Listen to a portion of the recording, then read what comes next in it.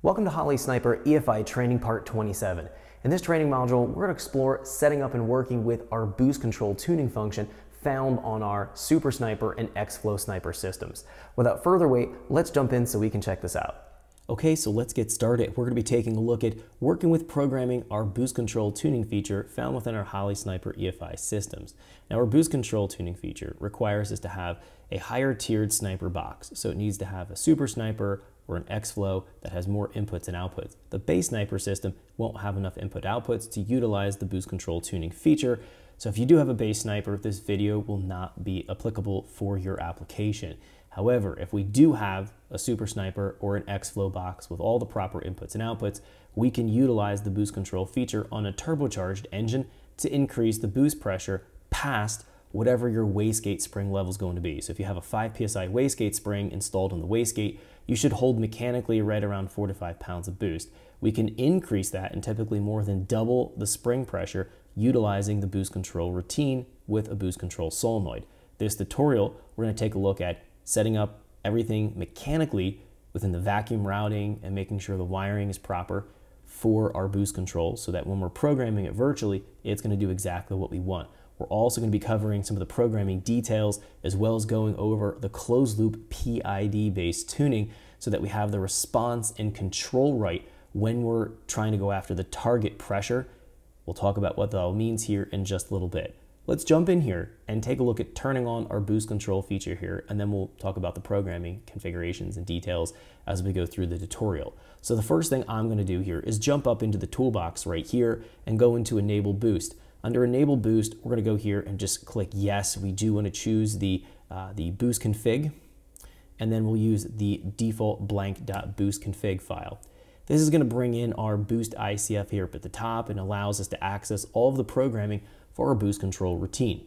Now, let's go through this real quick. What we're going to do is just talk about our system setup here and then as we're talking about this, it's going to lead us into the solenoids and some of the wiring details. We'll talk about the routing and the wiring associated to either a dual or a single boost control solenoid routine. We'll also talk about the role of a wastegate and what it does in terms of the, uh, the turbocharge system, and then what we're doing by controlling the boost with a boost control solenoid. It'll make a little bit more sense as to what we're actually accomplishing.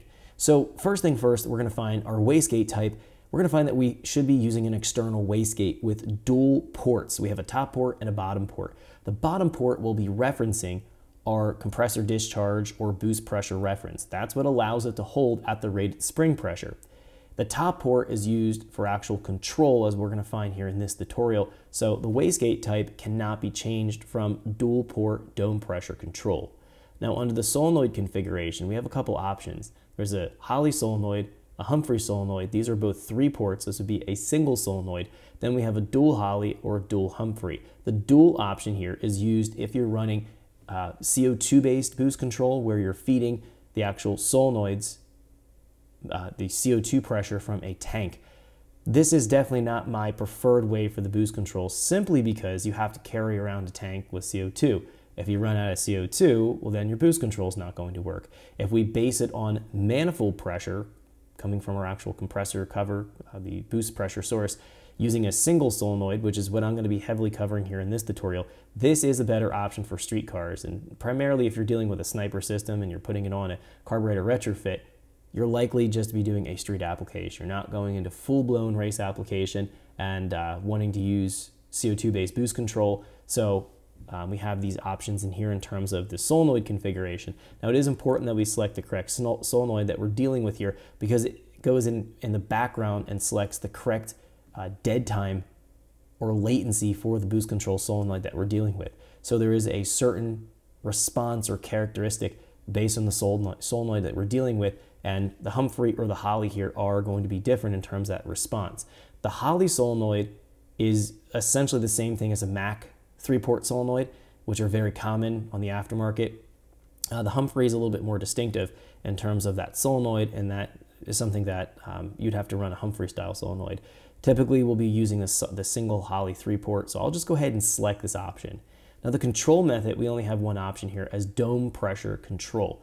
Now, the dome pressure, in terms of the control method, is going to require us to wire in a pressure sensor that's going to measure the dome pressure at the actual wastegate hat. It wants to know what the pressure is inside that hat to be able to drive the control response. Now, the dome pressure doesn't necessarily line up with the actual manifold pressure, meaning we could have more dome pressure required to hit the same boost pressure. So, for example, if I want to go after 15 pounds of boost, I might need 20 or 25 pounds of dome pressure. There's a little bit of disconnect there in terms of the programming, so it's not my preferred way to control boost. I'd rather see it based on manifold pressure, but this is the way that Holley has written the software. So we're uh, kind of stuck with the dome pressure only. So the dome pressure option requires a dome pressure sensor to measure the dome pressure in the top port of our wastegate. The operating mode, we have a boost versus time or boost versus RPM. Now, boost versus time is better suited for a drag application. Boost versus RPM is better suited for a street application. So you can choose either here. I'm gonna leave it on boost versus time. Thanks for checking out our teaser clip. If you wanna see the rest of this video and more than 500 hours of current EFI training we have to offer, make sure you click right here. If you wanna go and check out more teaser clips from this training course, click here. And you don't wanna miss any of the videos are going to be releasing on this channel, so make sure you subscribe and click here. Thanks for watching, and I'll see you guys later.